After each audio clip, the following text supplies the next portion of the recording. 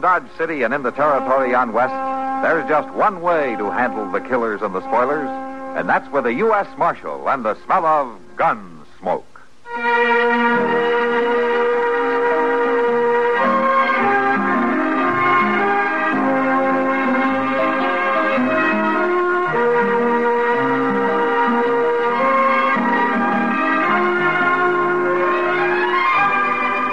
Gunsmoke, starring William Conrad. Story of the violence that moved west with young America. And the story of a man who moved with it. I'm that man. Matt Dillon, United States Marshal. The first man they look for and the last they want to meet. It's a chancy job, and it makes a man watchful and a little lonely.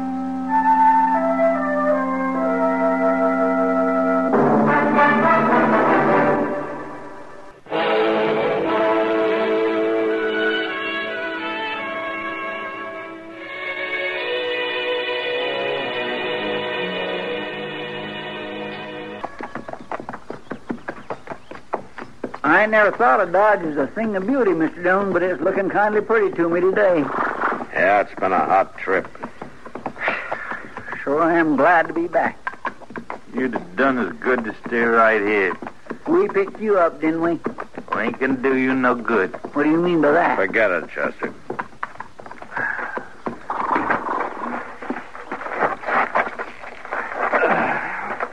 Take the horses around to the stable, will you, Chester? Ask Moss to rub them down. Well, yes, sir, but don't you want me to help you lock this fellow up? I think I can handle it.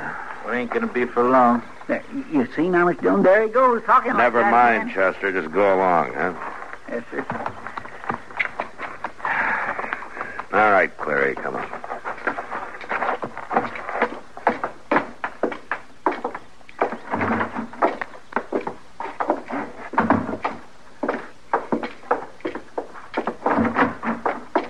I just soon tell you, Marshal, No? Tell me what? that you ain't gonna keep me locked up. My brother Nort, he ain't gonna stand for it. All right, get in there. My brother Nort, you'll come after me for sure. Uh-huh. You better listen to me, Marshal. I'm telling you true, he'll get me out. You know, I wish I had a dollar for every man I've locked up who said that and who stayed right here until I let him out. Well, Nort's different. Maybe so, but I wouldn't hold my breath until he got you out. I tell you, Now, why don't you settle down and shut up? You see, Yeah, I'll see.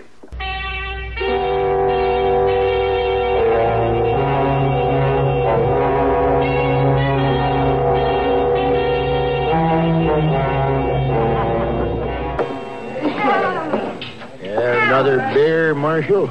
Uh, no thanks, Sam. On a day like this, I'm afraid it'd put me to sleep. Yeah, all right.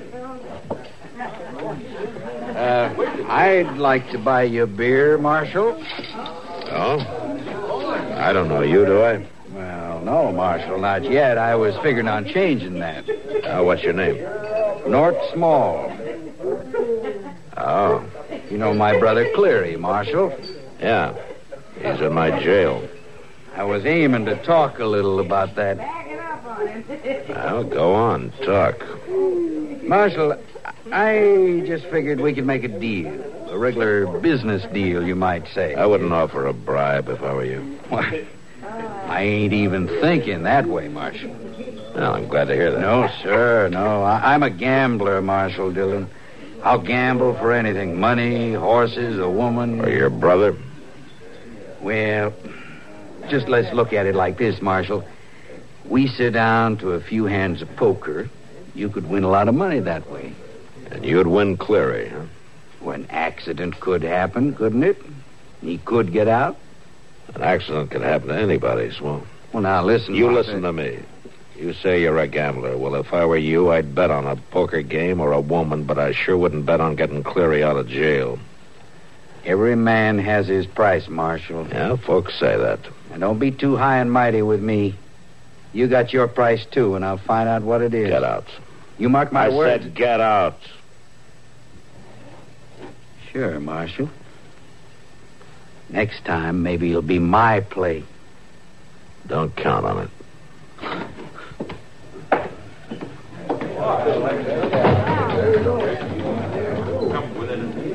Uh, Sam, I guess I'll have that beer after all. All right, Marshal. I'll get it for you, Matt. Oh. Well, thanks, Kitty. There you are. Ah, giving me pretty quick service. That's because I won't be seeing you for a while. Are you that anxious to get away? Well, I can't deny a few days away from Dodge won't break my heart. Yeah. You want me to uh, pick up your stage ticket for you? Oh, I got that yesterday, Matt. I wasn't taking any chances on missing it. No, you sure weren't. Well, I'll come by and carry your bag down for you. Thanks, Matt. Don't be late. don't worry. I won't. I don't want you to blame me if you miss the stage.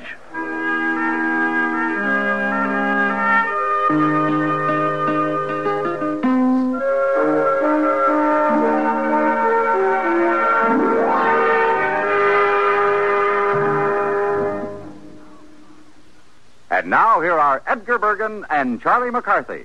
Bergie, I think someone's looking for you. Oh, Mr. Bergen, Well, hello, Effie Clinker. What's wrong? my car battery is run down. I think it's an acid condition. Oh, I see. Well, have you seen a serviceman? Well, I had a blind date with a sailor last night, but he got away. No, I mean a mechanic.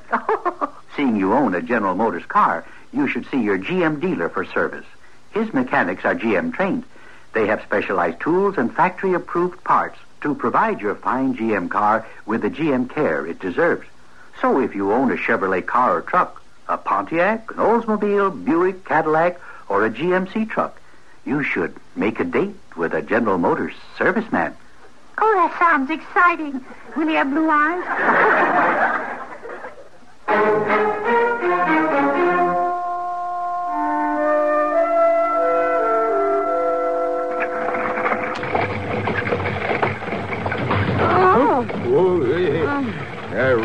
don't seem to get no smoother. I'll say that for it. certainly doesn't. you know, I, I heard a doctor once. He said it was good for your innards getting thrown around like this. Well, that may be, but it's hard on the rest of you. That's sure a fact. well, we'll be in Dodge for long. Yeah, I won't be sorry about that. Uh, I don't think I will either this time. I...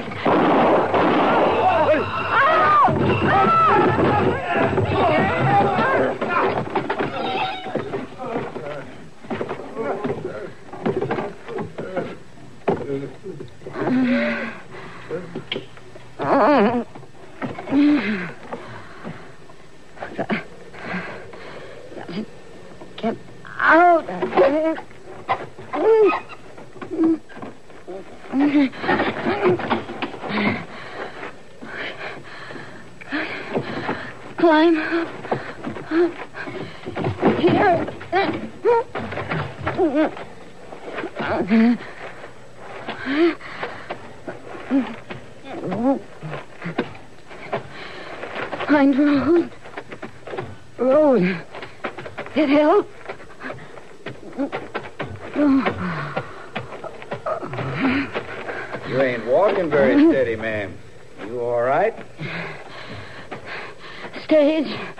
Oh, Off bank. Why, it's the marshal. The stage.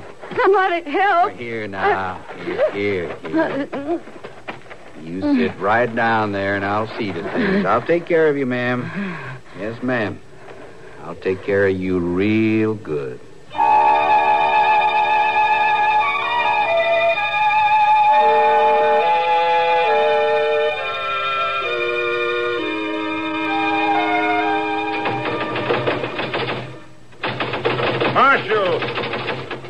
Ain't had no food since this morning. The way you're going, you're not likely to hurry it up any. Now, you listen here, Marshal. A man has a right to his dinner. You haven't starved yet. Well, it ain't your fault. The stuff that Chester feeds me. You eat it or you don't. It doesn't make much difference to me, one way or the other. I got a lot to get even with you when I get out. Yeah, when you get out.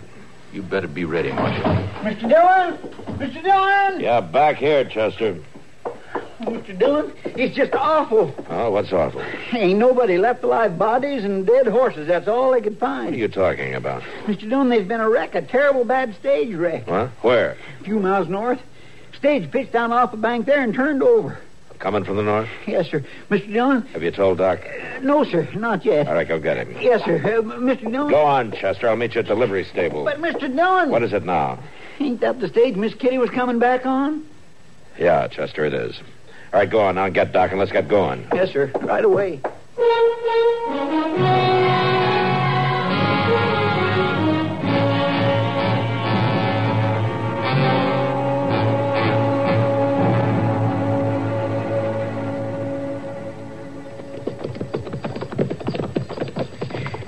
There it is, Mr. Dillon. Right down there. Yeah. That driver must have really been whipping them horses around that curve. Or else they were spooked.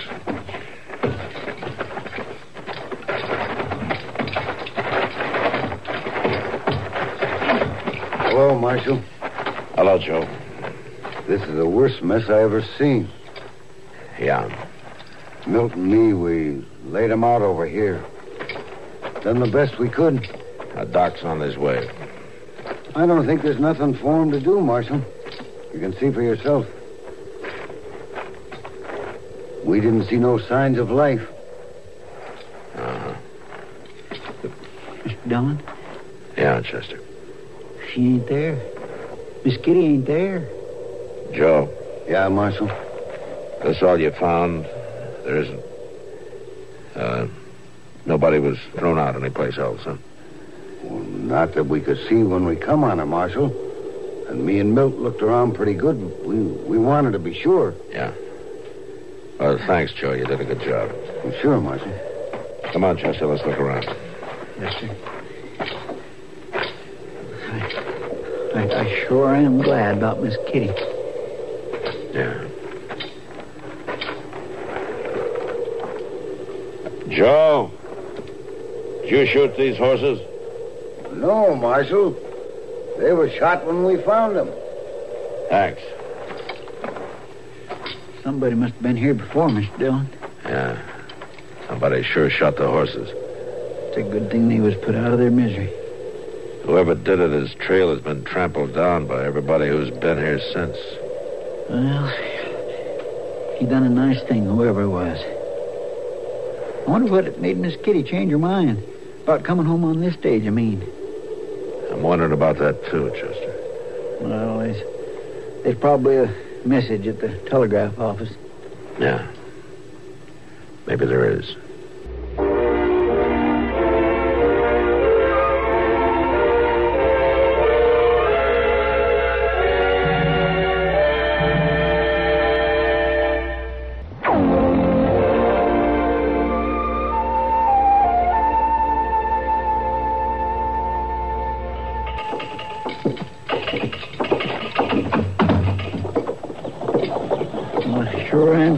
Mr. Dillon. I was sure there'd be a message. It just ain't like Miss Kitty not letting us know and all. Yeah. Of course, it could be that she maybe wanted to surprise us. That could be. I say that could be, couldn't it, Mr. Dillon? What? What's that? Well, I, I was just saying it could be that Miss Kitty maybe was wanting to surprise us. Oh. Yeah, yeah, maybe so. Marshal? Marshal Dillon? Uh, yeah, boy? I'm supposed to give you this. Well, Mr. Dillon. Where'd you get this? I was fishing on Cripple Creek, Where? near the Big Bend. Yeah, go on. A man come by and give me some money to bring this to you. What, did you know him? Never seen him before. You sure? Honest, Marshal, I ain't done nothing. All right, all right, you can go along, son. I was supposed to tell you there's a note in it. Yeah, thanks. Mr. Dillon, a- a- ain't that Miss Kitty's purse? Yeah. She all right? I don't know, Chester. The note says to bring Doc. All right, go on. Get the horses.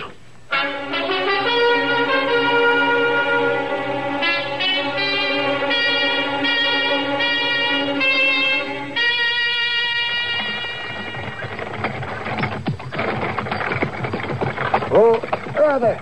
Oh. Uh, hello, Matt. Chester. Well, I came as soon as I got the message. Hello, Doc. Howdy, Doc. What are you doing out here? Nobody's lived on this place since old man Craig left five years ago. I'm not sure, Doc, but I'm hoping we'll find Kitty. Here? Yeah, here, read this note. It was brought to me in Kitty's purse. Yeah, let me see. Come to old Craig place. Bring Doc. Well, what does it mean? I don't know, Doc. Somebody must have Kitty. That's all I know. Well, did you look around here? Of course I looked around. Well, all right, all right. I was just wondering. Mr. Dillon, look yonder. Now, that's Nort Small.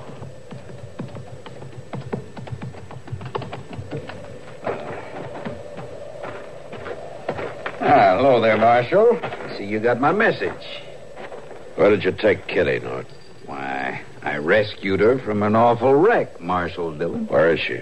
Now take it easy. She better be all right. Well, now I'm going to a lot of trouble about that, Marshal. I told you to bring Doc, didn't I? He can't do anything unless he sees her. Oh, I aim for him to see her. That's why I rode all this way. All right, let's go then. Oh, not you, Marshal. Just the Doc. And on one condition. What's that? That you stay here, nice and quiet, until Doc comes back. Agreed? Well, now, the little lady's life depends on it. All right. Go on, Doc. Yeah, yeah, sure, man. That's being smart, Marshal Dillon. Real smart. You better stay that way.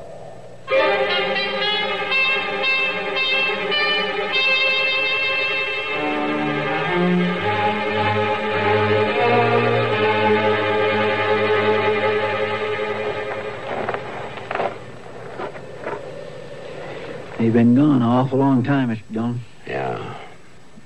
Couldn't we... Mr. Dillon, we... Couldn't we have followed them? Yeah, we could have followed them. Sure do hate just sitting around here while Miss Kitty's laying there hurt. That's why we're sitting here.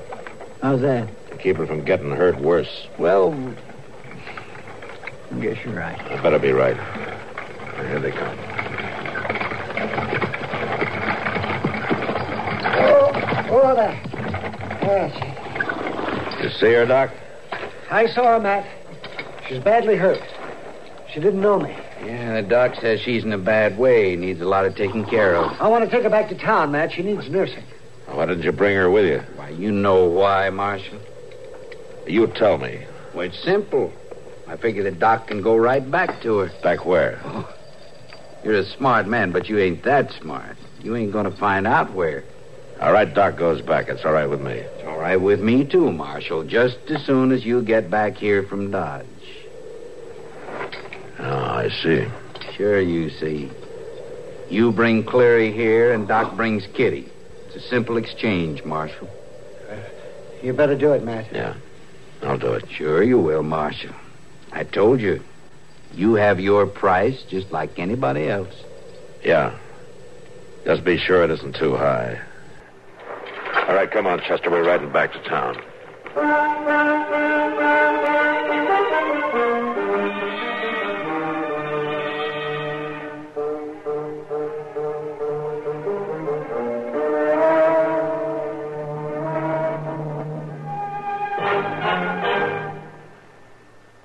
Get the really light refreshment.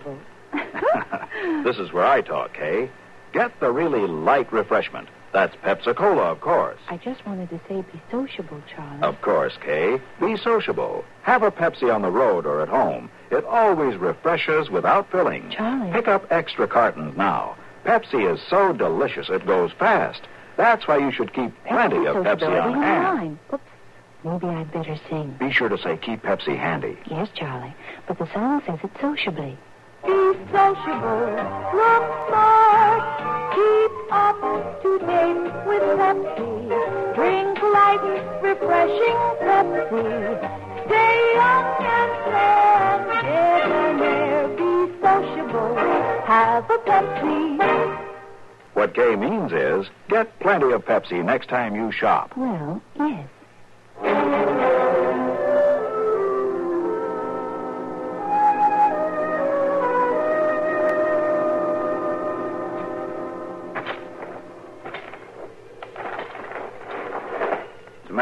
Marshal? Might as well sit down, take it easy. Of course, I guess you can't blame him none for being nervous, Cleary. Them big men all get nervous when they ain't got their guns. sure is a lot of smart talk going on around here, ain't there, Mr. Dillon? Don't worry about it, Chester. Oh, I ain't worried. He ain't worried, he says. Well, he ought to be worried. Ain't that so, Nort? Well, now, Cleary, I don't know about that. If he behaves himself until the doc gets back with the woman, he might come off all right. Well, what are we waiting for? Why don't we just go now? Oh, no, we can't. We sort of made a bargain about it, Cleary. I figure we ought to show the marshal when the small boys make a deal, they keep their word. Well, that surprises me some. I got a notion to fix you. No, no, no. Chester there's too old for you to pick on. Oh, I ain't neither too old. By Jim, I'll show you right this minute. Chester. Well, he's just plain asking for it, Sit Mr. down. Dillon. I don't rightly feel like sitting I down. I said sit down. All right. That marshal sure is a big man ordering folks around, ain't he, Cleary? I'd like to order him around. Yeah. Yeah, I bet you would. All right, then, Cleary, you take a crack at it. Order him around a little bit. Why, sure I will, Nort. Sure I will. Let's see now. Uh, Chester, before we get out of here, I want you to fill our canteen. that's it. That's it, Marshal. You fill our canteen. I'll go do it, Mr. Dillon. No, never mind, Chester. I'll do it. you bet your life he'll do it with my gun on him. Bring him here, Marshal. Now empty him.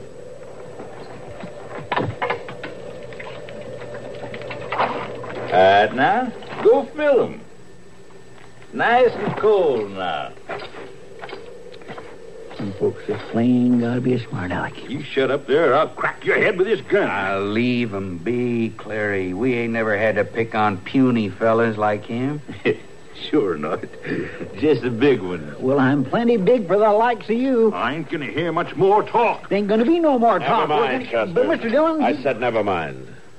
Well, that's right smart of you, Marshal. Now go put them canteens back on our saddles.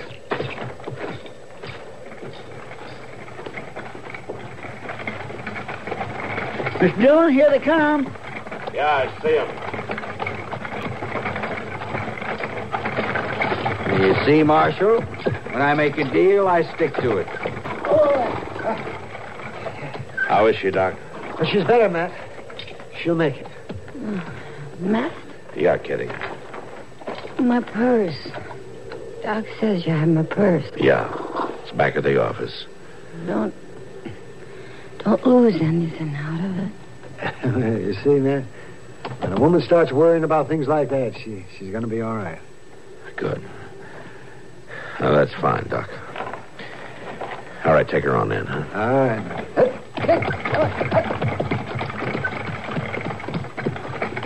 Ah, I guess we'll be on our way, too, Marshal. We got a long ride. Well, that'll seem long. Maybe you'll remember, Marshal, about a man and his price. Yeah. I think maybe we'll both remember.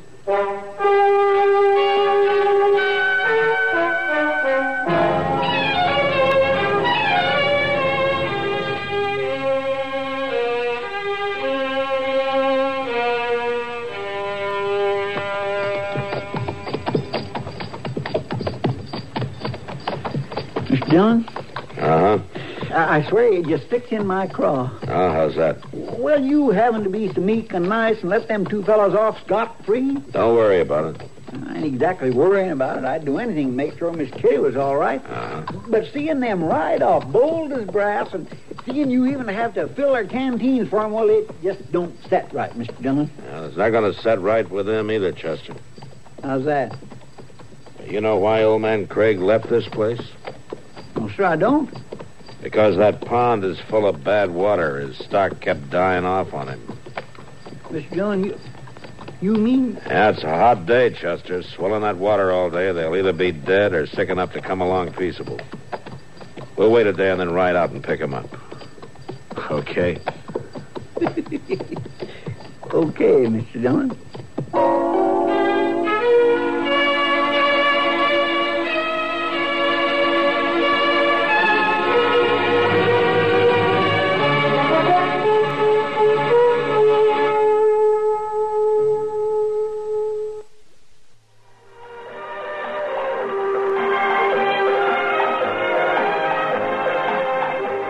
Gunsmoke. Produced and directed in Hollywood by Norman Macdonnell, stars William Conrad as Matt Dillon, U.S. Marshal. The story was specially written for Gunsmoke by Marian Clark, with editorial supervision by John Meston. Featured in the cast were Vic Perrin, Barney Phillips, James Nusser, and Richard Beale. Parley Baer is Chester, Howard McNear is Doc, and Georgia Ellis is Kitty.